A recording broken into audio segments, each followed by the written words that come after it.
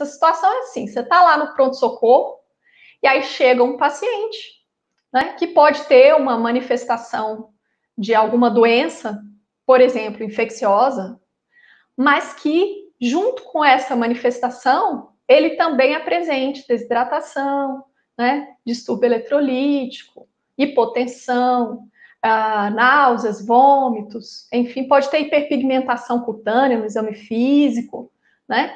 Esse paciente aí, além de você dar o suporte para ele, né, de hidratação venosa, sintomáticos, né?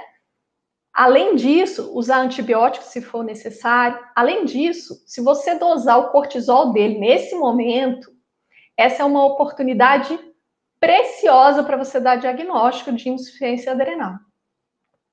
Ah, e ainda é o seguinte: você pode colher a amostra e aí guardar essa, essa amostra para fazer a dosagem no dia seguinte. Então, você pode só centrifugar, né, separar o soro e é, enviar para o laboratório para fazer a, o exame no dia seguinte.